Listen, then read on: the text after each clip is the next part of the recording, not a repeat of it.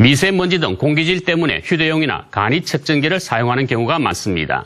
그런데 정작 정부는 아직 성능 인정조차 하지 않고 있습니다. 윤태호 기자가 취재했습니다. 대구시가 운영하는 대기오염 측정소입니다.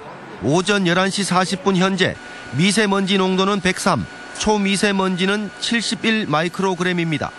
같은 시각 같은 장소에서 간이 측정기로 측정한 농도는 미세먼지 146, 초미세먼지는 96입니다. 미세먼지는 40 이상, 초미세먼지는 30 마이크로그램 가까이 차이가 납니다. 실제로 아이들이 마시는 미세먼지 양과 공식 측정망에서 발표하는 거는 어쨌든 차이가 있다. 대구시의 미세먼지 정책을 만들거나 하는 거는 조금 문제가 있지 않냐.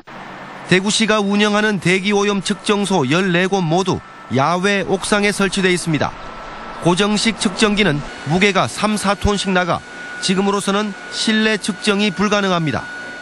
미세먼지나 초미세먼지에 대한 관심이 높아지면서 이런 간이 측정기를 사용하는 사람들이 많지만 국내에서 판매되는 모든 간이 측정기는 정부로부터 성능 인정을 받지 못한 것들입니다.